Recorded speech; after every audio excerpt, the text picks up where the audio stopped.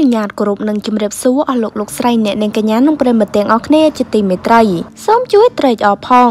ពេលនេះភរិយារបស់នាយចយសម្រាលបាន កូនដោយជោគជ័យហើយ ចំណែកឯមុខមាត់មិនដូចនាយចយទេ គឺដូចភរិយា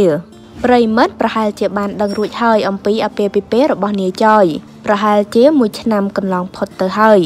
បន្ទាប់ពីរៀបការរយៈពេល1ឆ្នាំជាងនេះខណៈពេលនេះដែរ ភរិយារបស់លោកកំពុងតែពោពោះនៅក្នុងផ្ទៃនៅក្នុងនោះក៏ឃើញថាមានអ្នកលេងបណ្ដាញសង្គមមួយចំនួន បាននាំគ្នានិយាយប៉ះពាល់ដល់អារម្មណ៍ពួកគេយ៉ាងខ្លាំងដែលមានអ្នកខ្លះនិយាយថា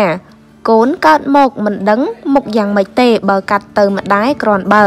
បើកាត់ទៅនាយចយវិញពិតជាចាប់មិនខាន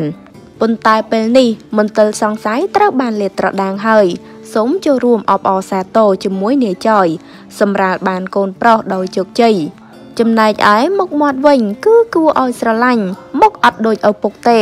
ហេតុតែប្តីស្រឡាញ់ប្រពន្ធខ្លាំងកាត់តាមម្ដាយស្អាតណាស់ចានៅពេលនេះនាយចយរំភើបស្ទើរហោះតែម្ដង នៅពេលដែលទទួលបានកូនប្រុសជាទីស្រឡាញ់ជាពិសេសនោះមុខមាត់មិនកាត់តាមខ្លួន